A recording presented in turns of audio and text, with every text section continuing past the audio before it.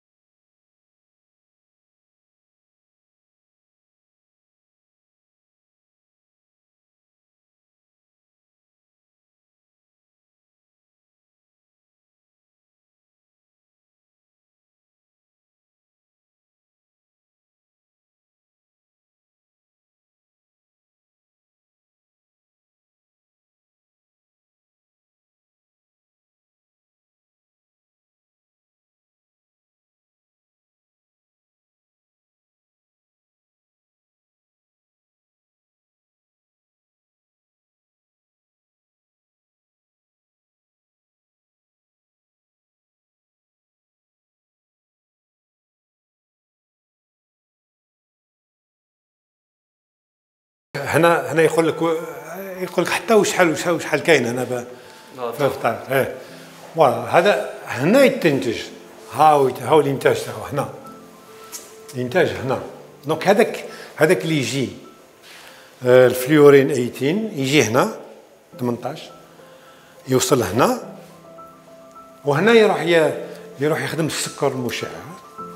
هنا يولي سكر مشع السكر المشع هذاك يروح للخلايا. إذا ايوا إذا يظهروا يظهروا الخلايا اللي voilà هذا هو. donc هنا يتخدم. عند دخولك غرفة المفاعل تلاحظ أنه متصل بنظام أمان محكم بدءا بجهاز الإنذار ذو المستويات الثلاث إلى غرفة المراقبة الخاصة به. وفي حال وجود نسبة إشعاعات خطيرة يتم تشغيل نظام الغلق الأوتوماتيكي. l'humidité تاع الرطوبة وشوفوا وشحال رانا في la température شحال السخانه الحرارة exactement خليو ما يخلي لازم يخدم في في ما, ما, ما, ما, ما يبغيش بزاف كيما نقولوا حنا الحوايج اللي لازمنا نشوفوهم الصباح قبل ان آه، قبل ان نبداو الإنتاج.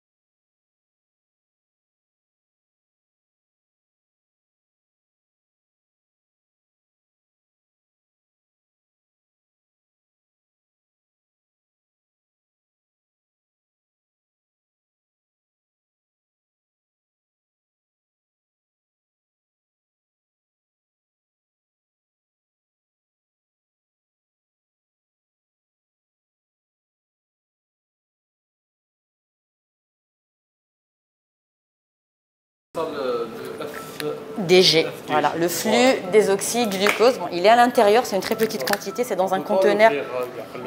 Euh, oui, en fait, il est dans un conteneur plombé, on ne pourra l'ouvrir qu'une fois qu'on l'a mis à l'intérieur de la hotte et que le manipulateur se sera protégé derrière cet écran de plomb. Donc c'est là qu'on commence à manipuler. Là, on n'aura pas le champ, on sera obligé d'ouvrir et de commencer à travailler. Mais je vous dis, on reçoit une très petite quantité et tout se fait à l'avance de telle sorte à ce qu'on manipule le plus rapidement possible pour nous protéger. Et tout est préparé à l'avance de telle sorte à ce que les résultats du contrôle qualité euh, soient obtenus le plus rapidement possible pour qu'on puisse commencer à injecter le produit.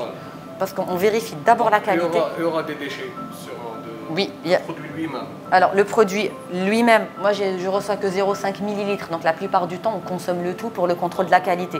Maintenant ce qui n'est pas consommé va évidemment rester ici en attendant la décroissance et que l'équipe de physique va venir le récupérer. Donc le, euh, le retard, le barème de, de savoir que le produit est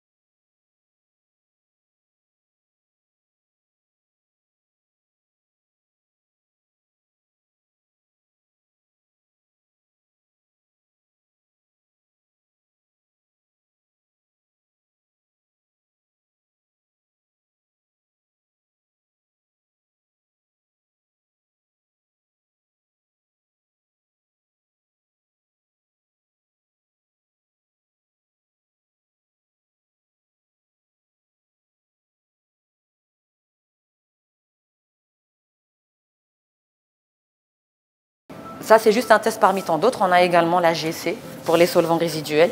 Donc là, on a le pic qui est relatif à l'éthanol. On a le pic qui est relatif à l'acétonitrile.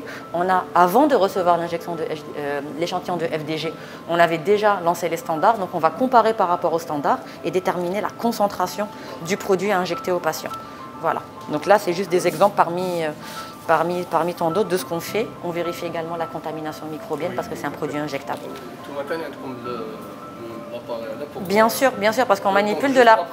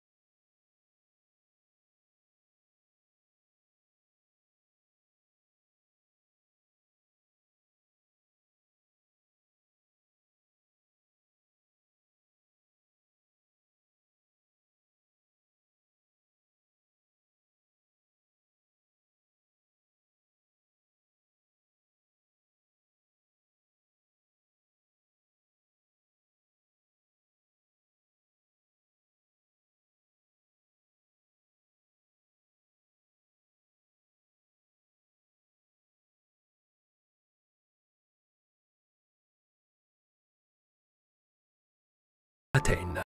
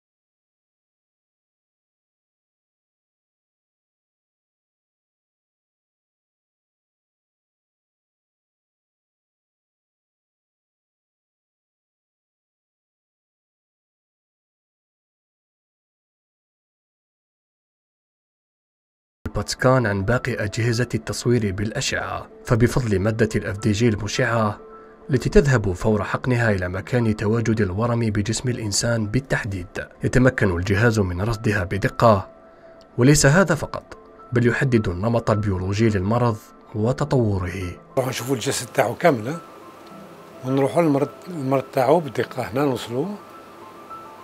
نشوفوا المرض تاعو هنا بلي كاين في الرية الرية تاع الرية اليسرى.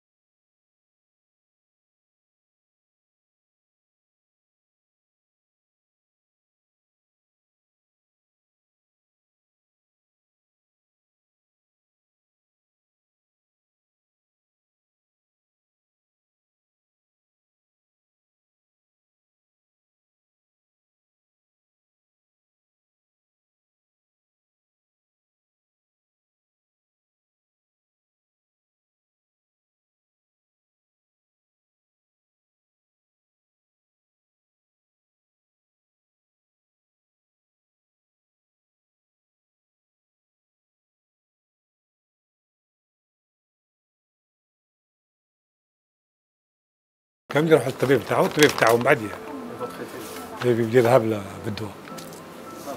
في الجهة المقابلة من المستشفى مشروع آخر ينتظر أن يرى النور. مركز مكافحة السرطان الخاص بالأطفال المكون من ثلاث طبقات. طابق مخصص لأمراض السرطان من الأطفال وطابق لجراحة الأطفال. أما المستوى الأخير فهو خاص بالاستعجالات الجراحية. المركز هذا ولا الدور تاع هذا المركز كقطب